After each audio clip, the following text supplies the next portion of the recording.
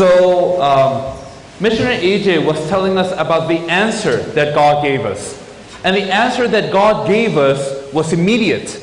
In Genesis chapter 3, after man, um, man disobeys the word of God, man hides from God, God confronts man, as you well remember. But before God tells man about how he is going to be cursed, God gives him an answer.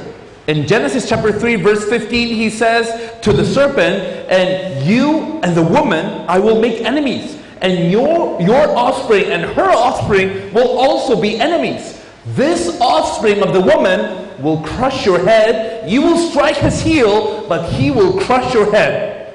And this is something interesting because it seems as if it's not related to anything, but God was being very clear. Someone will come and will be born from the woman. Actually, God said it will be the seed of the woman. And it's interesting because the seed is always something that the man has, right? Women do not have the seed, men do. But God was being specific. Somebody who will be the seed of the woman will come and he will crush the head of the serpent. Somebody born from the woman will be the answer to the problem of Satan. And from there and onward, we see that all the Old Testament has one single topic, one single theme. It may seem like the Old Testament talks about a lot of things. Talks about the history of Israel, about the laws regarding the sacrifices, about poems and psalms and songs and prophecies. But really, all of the Old Testament has one clear topic.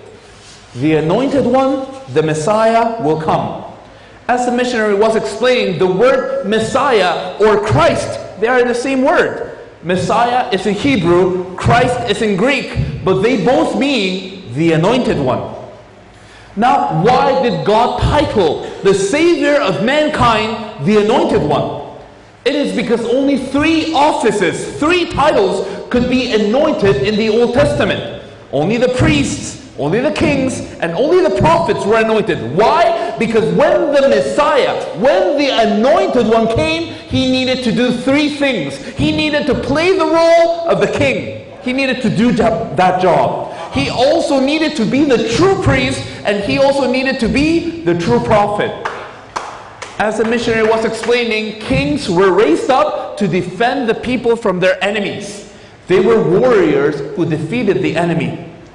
Priests were in charge of sacrificing animals for the forgiveness of sin. And prophets were in charge of delivering God's message so that the hearts of people could come back to God. In other words, they were a solution to Satan, sin, and separation from God. Unfortunately, none of the kings of the Old Testament could defeat our true enemy, Satan. Not even the best king can defeat Satan. That is why all the kings pointed. They uh, made Israel yearn for the true king who would come. All of the priests, even though they sacrificed day and night, could not truly solve sin. That is why all of the priests were a pointer. They were uh, something that God used so that people could expect the true high priest would come and would solve sin perfectly and forever and prophets, even though they delivered the word of God constantly, they were not enough to bring the hearts of people back to God. So, through the prophets, the expectation of people was there will be one day a true prophet who will come and bring us back to God. So, that is the meaning behind the word anointed one or Messiah Christ. And as the missionary was explaining, all the Old Testament is full of prophecies regarding the Christ. When we're talking about a prophecy, we're talking about something that God is saying that He will fulfill. Amen? So a prophecy is not just you will, in the future, you will have a lot of money, in the future, you will do this and that. That's not what the prophecy means in the Old Testament, but rather, it is something that God said that will be fulfilled, and all the Bible is full of more than 300 prophecies about the Messiah, the Christ. So God's interest, God's will in us is that we must meet, we must believe in the Messiah, the Christ. That is why all the Bible has this topic. So, let us look at a more granular way at some of the prophecies. And the reason why we're looking at these prophecies is not so that you may memorize every prophecy, but rather that you might know that God really wants something for you, and it is for you to meet the Messiah. God is so interested in us meeting the Messiah that He gave us more than 300 prophecies about this Messiah. That is how interested God is in you and I meeting the Messiah.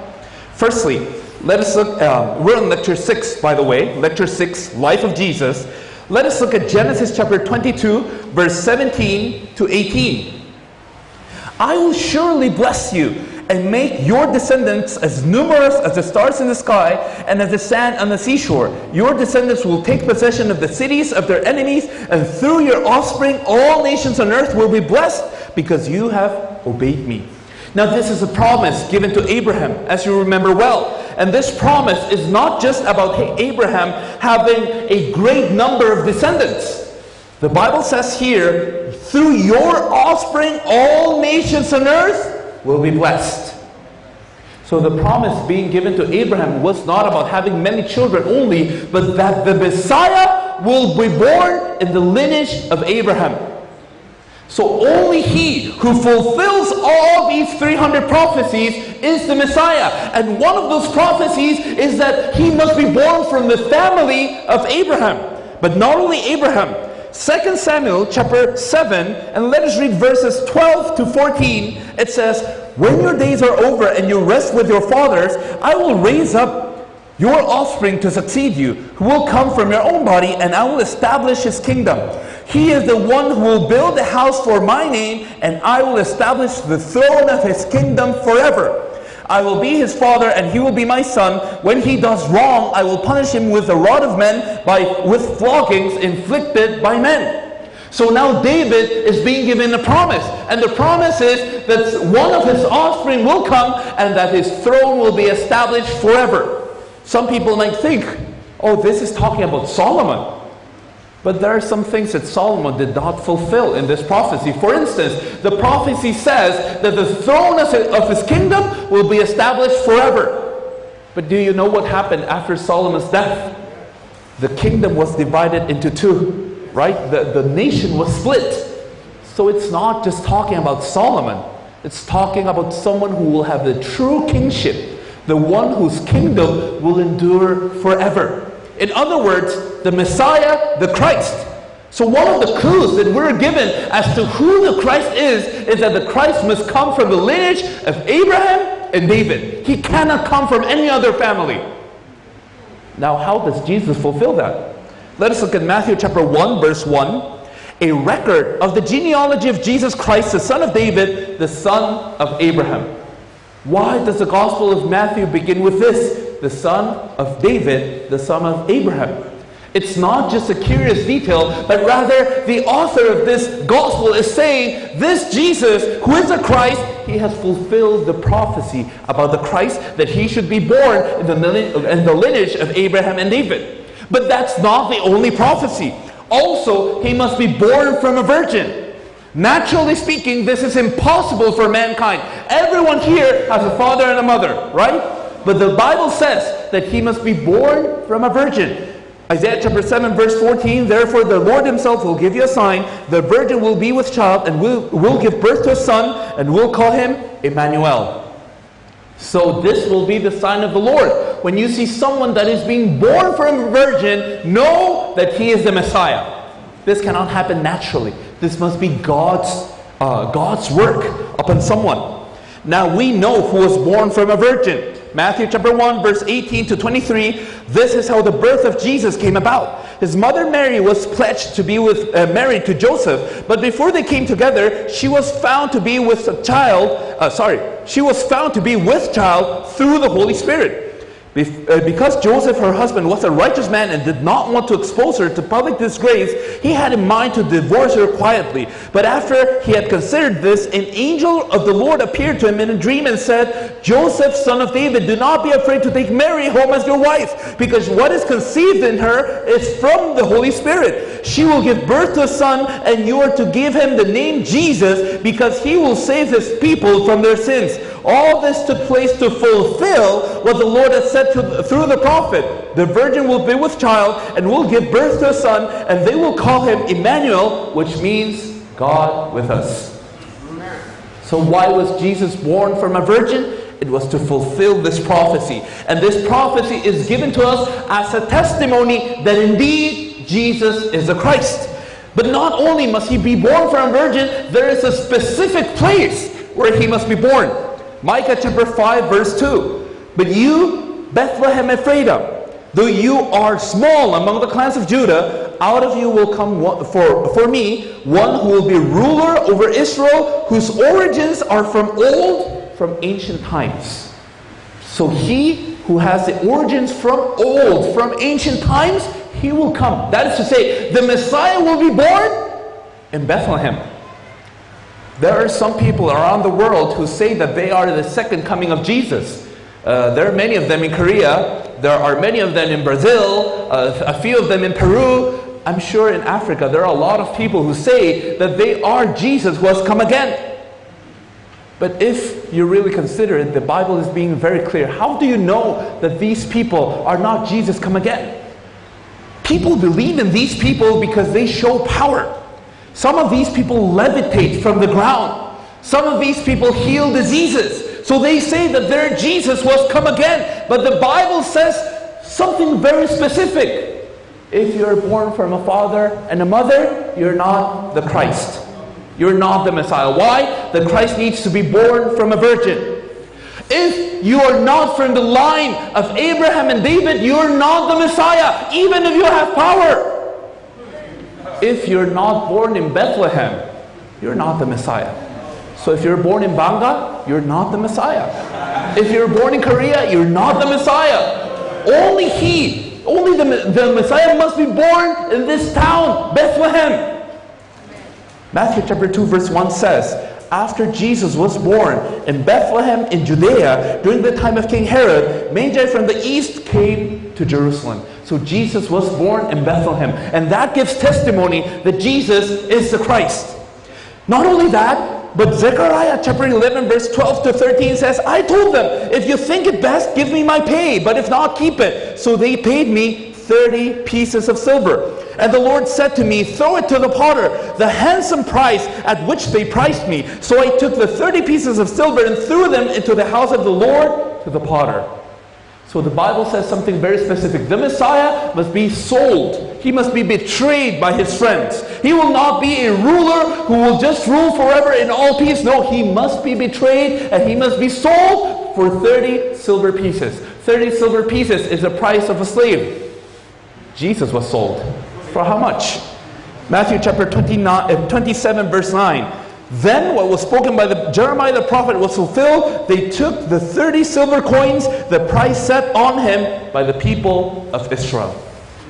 He was also sold for 30 silver pieces. Not only that, Deuteronomy chapter 21, verse 22 to 23. If a man guilty of a capital offense is put to death and his body is hung on a tree, you must not leave his body on the tree overnight. Be sure to bury him that same day because anyone who is hung on a tree is under God's curse. You must not desecrate the land the Lord God is giving you as an inheritance. So the Bible, thousands of years ago before the cross was invented, was already speaking about people being hung on a tree. And this being hung on a tree is not just some simple death, but rather it says here that it is a mark of somebody being cursed by God.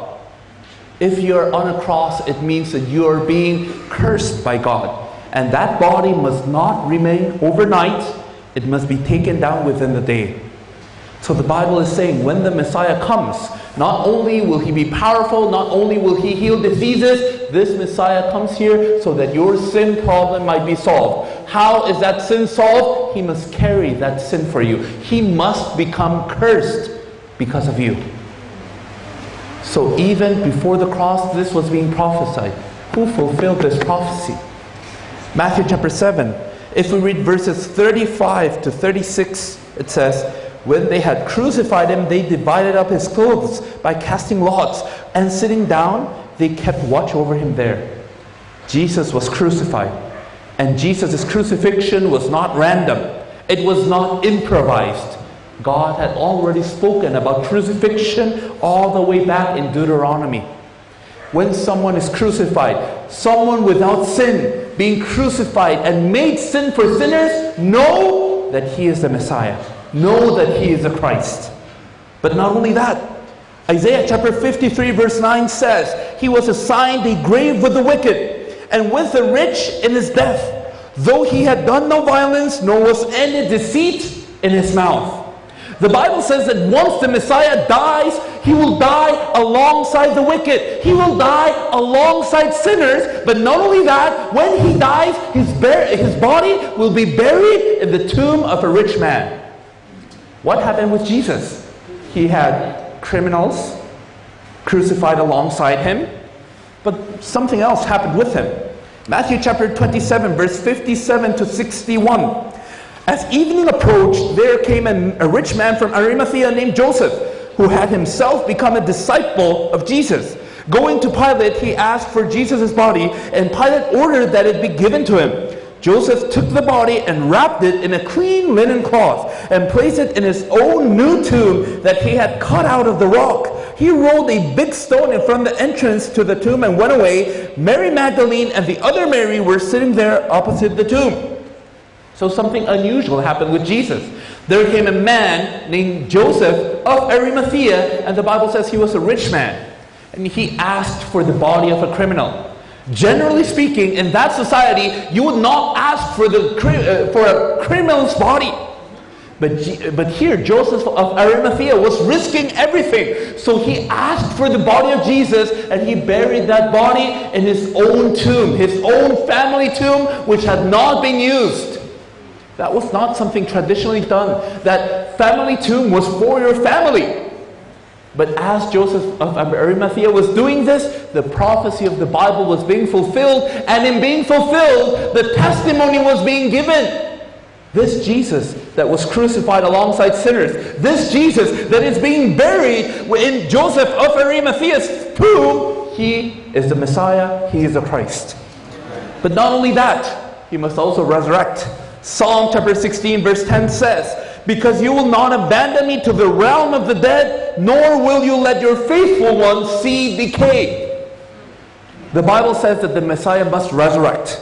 He has not died for his own sin, he has died for our sin. And God, who is righteous, cannot punish him eternally for our sin. This Messiah must be vindicated, he must resurrect. And Peter, he, uh, he explains this and he says, if David were talking about himself, we would have seen David resurrected.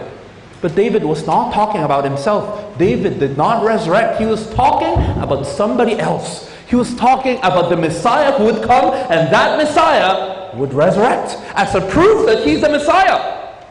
What happened with Jesus? Matthew chapter 28, verse 5 to 6. The angel said to the women, Do not be afraid, for I know that you're looking for Jesus, the one who was crucified. He is not here, he has risen, just as he said. Come and see the place where he lay. So we have looked at seven prophecies. Seven prophets fulfilled that all testify toward one thing Jesus is the Messiah.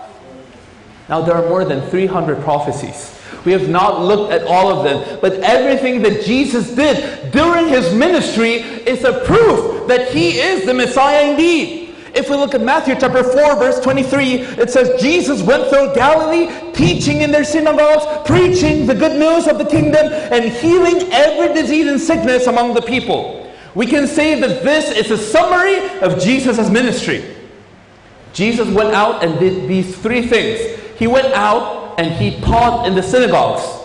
What did he teach in the synagogues? Do you remember what Jesus taught? One time where he was in the synagogue, he opened the scriptures, right, in Isaiah chapter 60, and he read Isaiah chapter 60, and after having closed the scriptures, he said to the people, All these scriptures have been fulfilled in front of you. So, what was Jesus teaching? Was he teaching how you can have more blessings? Was he teaching how you can be healed or five ways to be successful? Jesus was teaching the scripture testifies about the Messiah and the Messiah has come. he was teaching that he is the Christ, in other words. Not only that, he preached the good news of the kingdom. What are those good news of the kingdom? The good news will be preached by saying, The kingdom of God, the kingdom of heaven is near. Once he said, The kingdom of God is among you. What was Jesus saying with that? Jesus was saying, The Messiah, who is the ruler of the kingdom of God, the Messiah, who is the king, he has already come. So as he was preaching the gospel, he was preaching that he himself is a Christ. And it also says he healed every disease and sickness among the people. Why did Jesus do this? Why did Jesus heal the diseases? Why did Jesus heal the sick? Was it because he was compassionate? Was it because sickness is evil? Jesus healed the people to testify that he is the Christ. Do you remember in John chapter 9, some of the disciples asked about a blind man, a blind man who was blind since birth. They asked, Who did evil? Who sinned? Was it the, this person's parents or was it him? Who deserves the punishment? Why is it that he is blind? Why was he born blind? Jesus said it is not because his parents sinned. It is not because he himself has sinned, but so that God may be glorified and he healed this man, right? He healed this blind man to what end? To testify that he is the true sight. He is the Christ who is to come to this world. So, in other words, everything that Jesus did during his public ministry had one goal. And that goal was to testify to everyone, whether it is through his words, whether it is through his proclamation, whether it is through his signs, that he is the Christ. That was Jesus' main point. It was not just so that people may benefit. It was not just so that people may eat of the, uh, of the fish and the bread. That was not the main point. The main point is that everyone who should see this, they might realize the scriptures are being fulfilled by this man named Jesus. That must mean he is the Christ. So, in a few words, Jesus fulfills all the Old Testament prophecies Therefore, he is the Christ. So, in order to be the Christ, you have to fulfill the Old Testament prophecies, but not only that, you must come as the solution to the problem of man. You must give the solution to Satan, sin and separation from God. So, how does Jesus do that? In the cross and resurrection, he solves the problem of man. Let us look at Luke chapter 23, verse 45. For the, stop, for the sun stopped shining, and the curtain of the temple was torn in two. You remember that when Jesus died on the cross, the curtain of the temple was torn into two. But what does that mean? In the Old Testament, you have the tabernacle, and the tabernacle was a place where the. So, um, missionary AJ was telling us about the answer that God gave us. And the answer that God gave us was immediate. In Genesis chapter 3, after man um, Man disobeys the word of God. Man hides from God. God confronts man, as you well remember. But before God tells man about how he is going to be cursed, God gives him an answer. In Genesis chapter 3, verse 15, he says to the serpent, And you and the woman I will make enemies, and your, your offspring and her offspring will also be enemies. This offspring of the woman will crush your head. You will strike his heel, but he will crush your head. And this is something interesting because it seems as if it's not related to anything, but God was being very clear. Someone will come and will be born from the woman. Actually, God said it will be the seed of the woman. And it's interesting because the seed is always something that the man has, right? Women do not have the seed, men do. But God was being specific. Somebody who will be the seed of the woman will come and he will crush the head of the serpent. Somebody born from the woman will be the answer to the problem of Satan. And from there and onward, we see that all the Old Testament has one single topic, one single theme. It may seem like the Old Testament talks about a lot of things talks about the history of Israel, about the laws regarding the sacrifices, about poems and psalms and songs and prophecies. But really, all of the Old Testament has one clear topic the anointed one, the Messiah, will come. As the missionary was explaining, the word Messiah or Christ, they are the same word. Messiah is in Hebrew, Christ is in Greek, but they both mean the anointed one. Now, why did God title the Savior of mankind the Anointed One? It is because only three offices, three titles could be anointed in the Old Testament. Only the priests, only the kings, and only the prophets were anointed. Why? Because when the Messiah, when the anointed one came, he needed to do three things. He needed to play the role of the king. He needed to do that job he also needed to be the true priest and he also needed to be the true prophet. As the missionary was explaining, kings were raised up to defend the people from their enemies.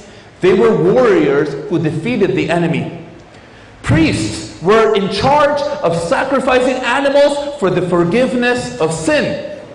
And prophets were in charge of delivering God's message so that the hearts of people could come back to God. In other words, they were a solution to Satan, sin, and separation from God. Unfortunately, none of the kings of the Old Testament could defeat our true enemy, Satan. Not even the best king can defeat Satan. That is why all the kings pointed. They uh, made Israel yearn for the true king who would come. All of the priests even though they sacrificed day and night, could not truly solve sin. That is why all of the priests were a pointer. They were uh, something that God used so that people could expect the true high priest who would come and would solve sin perfectly and forever. And prophets, even though they delivered the word of God constantly, they were not enough to bring the hearts of people back to God. So through the prophets, the expectation of people was there will be one day a true prophet who will come and bring us back to God. So that is the meaning behind the word anointed one or Messiah Christ. And as the missionary was explaining, all the Old Testament is full of prophecies regarding the Christ. When we're talking about a prophecy, we're talking about something that God is saying that He will fulfill. Amen? So a prophecy is not just you will in the future you will have a lot of money in the future you will do this and that. That's not what the prophecy means in the Old Testament, but rather it is something that God said that will be fulfilled, and all the Bible is full of more than 300 prophecies about the Messiah, the Christ. So God's interest, God's will in us is that we must meet, we must believe in the Messiah, the Christ. That is why all the Bible has this topic. So, let us look at a more granular way at some of the prophecies. And the reason why we're looking at these prophecies is not so that you may memorize every prophecy, but rather that you might know that God really wants something for you, and it is for you to meet the Messiah. God is so interested in us meeting the Messiah that He gave us more than 300 prophecies about this Messiah. That is how interested God is in you and I meeting the Messiah. Firstly, let us look, uh, we're on lecture 6, by the way, lecture 6, Life of Jesus. Let us look at Genesis chapter 22, verse 17 to 18. I will surely bless you and make your descendants as numerous as the stars in the sky and as the sand on the seashore. Your descendants will take possession of the cities of their enemies, and through your offspring, all nations on earth will be blessed because you have obeyed me. Now, this is a promise given to Abraham, as you remember well. And this promise is not just about Abraham having a great number of descendants. The Bible says here, through your offspring, all nations on earth will be blessed. So the promise being given to Abraham was not about having many children only, but that the Messiah will be born in the lineage of Abraham. So only he who fulfills all these 300 prophecies is the Messiah. And one of those prophecies is that he must be born from the family of Abraham. But not only Abraham. 2 Samuel chapter 7, and let us read verses 12 to 14. It says, When your days are over and you rest with your fathers, I will raise up your offspring to succeed you, who will come from your own body, and I will establish his kingdom. He is the one who will build a house for my name, and I will establish the throne of his kingdom forever. I will be his father, and he will be my son. When he does wrong, I will punish him with the rod of men, by, with floggings inflicted by men. So now David is being given a promise. And the promise is that one of his offspring will come and that his throne will be established forever. Some people might think, oh, this is talking about Solomon. But there are some things that Solomon did not fulfill in this prophecy. For instance, the prophecy says that the throne of his kingdom will be established forever. But do you know what happened after Solomon's death? The kingdom was divided into two, right? The, the nation was split. So it's not just talking about Solomon, it's talking about someone who will have the true kingship, the one whose kingdom will endure forever. In other words, the Messiah, the Christ. So one of the clues that we're given as to who the Christ is, is that the Christ must come from the lineage of Abraham and David. He cannot come from any other family. Now, how does Jesus fulfill that? Let us look at Matthew chapter 1, verse 1. A record of the genealogy of Jesus Christ, the son of David, the son of Abraham. Why does the Gospel of Matthew begin with this? the son of David, the son of Abraham. It's not just a curious detail, but rather the author of this gospel is saying this Jesus, who is the Christ, he has fulfilled the prophecy about the Christ that he should be born in the, in the lineage of Abraham and David. But that's not the only prophecy. Also, he must be born from a virgin. Naturally speaking, this is impossible for mankind. Everyone here has a father and a mother, right? But the Bible says that he must be born from a virgin. Isaiah chapter 7, verse 14 Therefore, the Lord himself will give you a sign. The virgin will be with child and will, will give birth to a son, and will call him Emmanuel.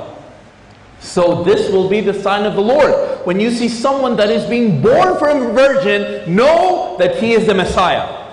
This cannot happen naturally. This must be God's, uh, God's work upon someone. Now we know who was born from a virgin. Matthew chapter 1, verse 18 to 23. This is how the birth of Jesus came about. His mother Mary was pledged to be with, uh, married to Joseph, but before they came together, she was found to be with a child, uh, sorry, she was found to be with child through the Holy Spirit. Uh, because Joseph, her husband, was a righteous man and did not want to expose her to public disgrace, he had in mind to divorce her quietly. But after he had considered this, an angel of the Lord appeared to him in a dream and said, Joseph, son of David, do not be afraid to take Mary home as your wife, because what is conceived in her is from the Holy Spirit. She will give birth to a son, and you are to give him the name Jesus, because he will save his people from their sins. All this took place to fulfill what the Lord had said to, through the prophet. The virgin will be with child and will give birth to a son, and they will call him Emmanuel, which means God with us. So, why was Jesus born from a virgin? It was to fulfill this prophecy. And this prophecy is given to us as a testimony that indeed Jesus is the Christ. But not only must he be born from a virgin, there is a specific place where he must be born. Micah chapter 5, verse 2. But you, Bethlehem Ephrathah, though you are small among the clans of Judah, out of you will come for, for me one who will be ruler over Israel, whose origins are from old, from ancient times. So he who has the origins from old, from ancient times, he will come. That is to say, the Messiah will be born in Bethlehem. There are some people around the world who say that they are the second coming of Jesus. Uh, there are many of them in Korea. There are many of them in Brazil. Uh, a few of them in Peru. I'm sure in Africa there are a lot of people who say that they are Jesus who has come again. But if you really consider it, the Bible is being very clear. How do you know that these people are not Jesus come again? People believe in these people because they show power. Some of these people levitate from the ground. Some of these people heal diseases. So they say that their Jesus was come again. But the Bible says something very specific. If you're born from a father and a mother, you're not the Christ. You're not the Messiah. Why? The Christ needs to be born from a virgin. If you are not from the line of Abraham and David, you're not the Messiah, even if you have power. If you're not born in Bethlehem, you're not the Messiah. So if you're born in Gbarnga, you're not the Messiah. If you're born in Korea, you're not the Messiah. Only He, only the, the Messiah must be born in this town, Bethlehem. Matthew chapter 2, verse 1 says, After Jesus was born in Bethlehem in Judea during the time of King Herod, Magi from the east came to Jerusalem. So Jesus was born in Bethlehem. And that gives testimony that Jesus is the Christ.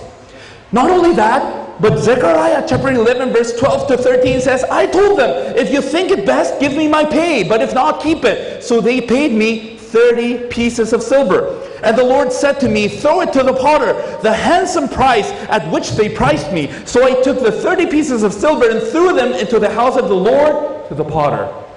So the Bible says something very specific. The Messiah must be sold. He must be betrayed by his friends. He will not be a ruler who will just rule forever in all peace. No, he must be betrayed and he must be sold for 30 silver pieces. 30 silver pieces is the price of a slave. Jesus was sold. For how much? Matthew chapter 29, uh, 27, verse 9. Then what was spoken by the, Jeremiah the prophet was fulfilled. They took the 30 silver coins, the price set on him by the people of Israel. He was also sold for 30 silver pieces. Not only that, Deuteronomy chapter 21, verse 22 to 23. If a man guilty of a capital offense is put to death and his body is hung on a tree, you must not leave his body on the tree overnight be sure to bury him that same day because anyone who is hung on a tree is under God's curse. You must not desecrate the land the Lord God is giving you as an inheritance. So the Bible, thousands of years ago before the cross was invented, was already speaking about people being hung on a tree.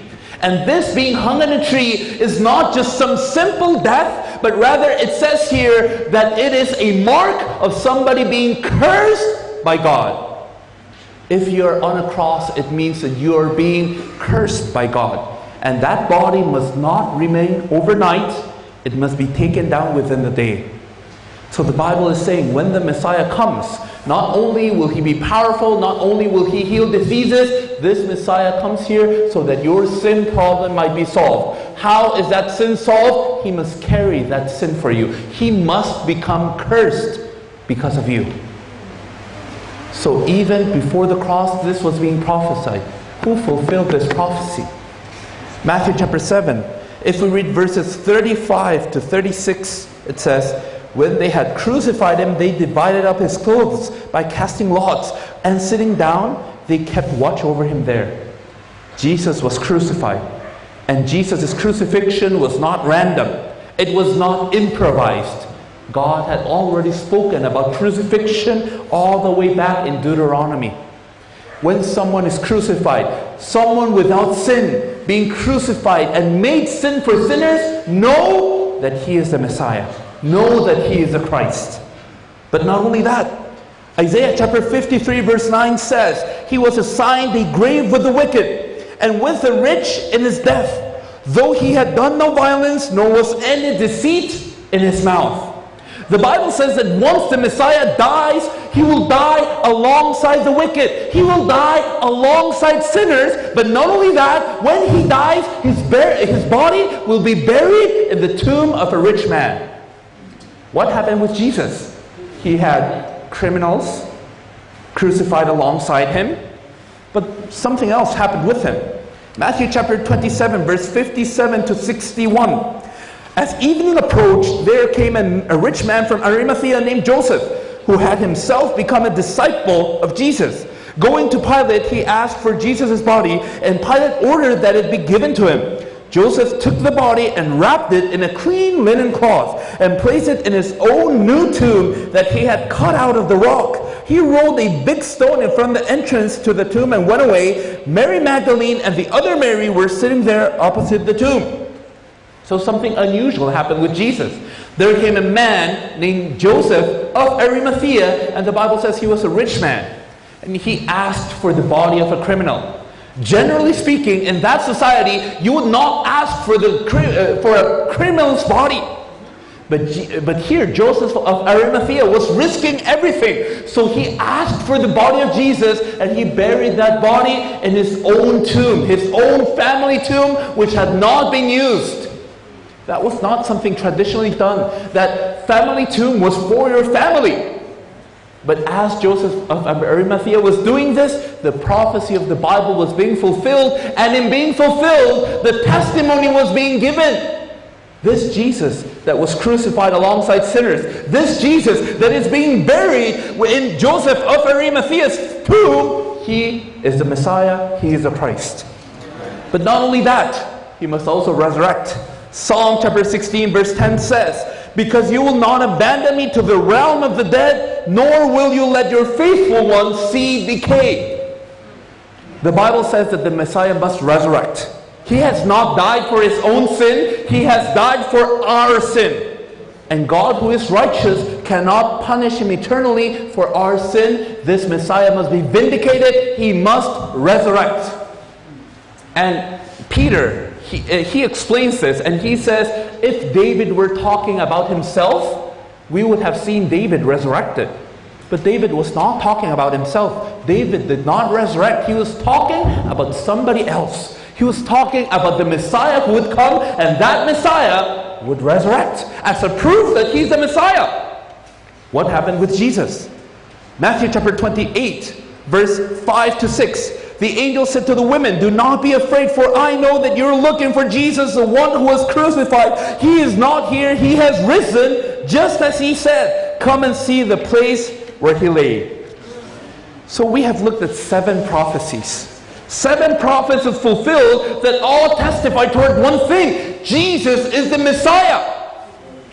Now, there are more than 300 prophecies. We have not looked at all of them, but everything that Jesus did during his ministry is a proof that he is the Messiah indeed. If we look at Matthew chapter 4, verse 23, it says, Jesus went through Galilee, teaching in their synagogues, preaching the good news of the kingdom, and healing every disease and sickness among the people. We can say that this is a summary of Jesus' ministry.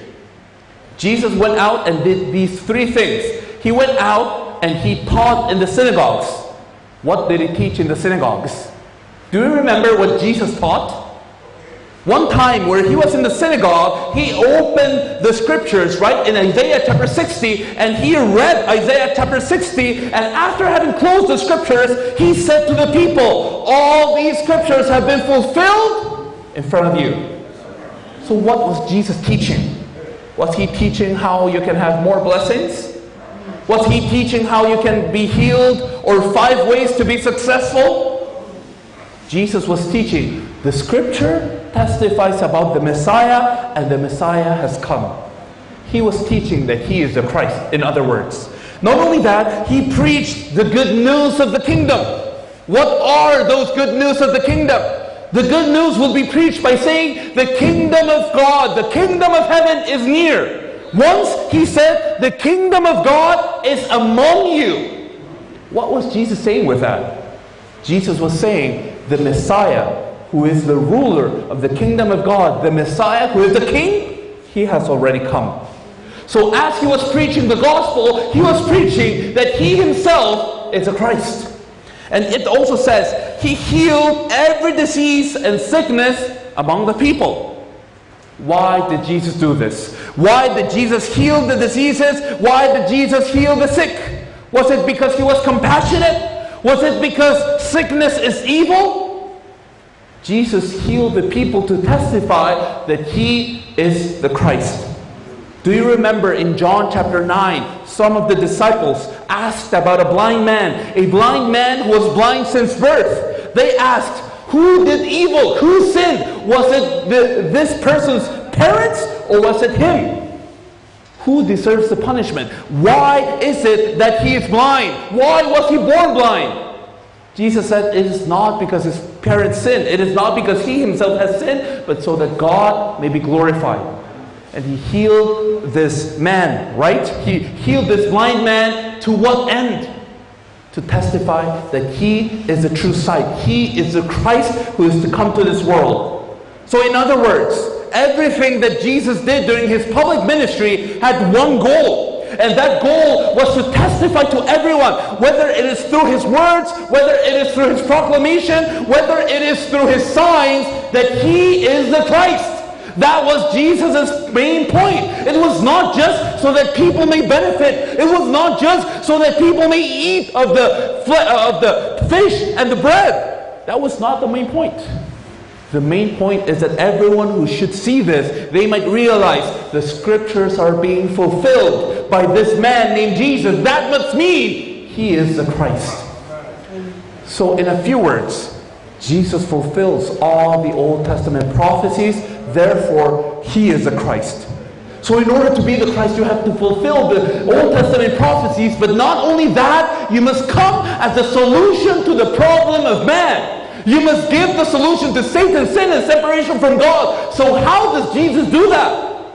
In the cross and resurrection, he solves the problem of man. Let us look at Luke chapter 23, verse 45. For the, stop, for the sun stopped shining, and the curtain of the temple was torn in two. You remember that when Jesus died on the cross, the curtain of the temple was torn into two. But what does that mean? In the Old Testament, you had the tabernacle, and the tabernacle was a place where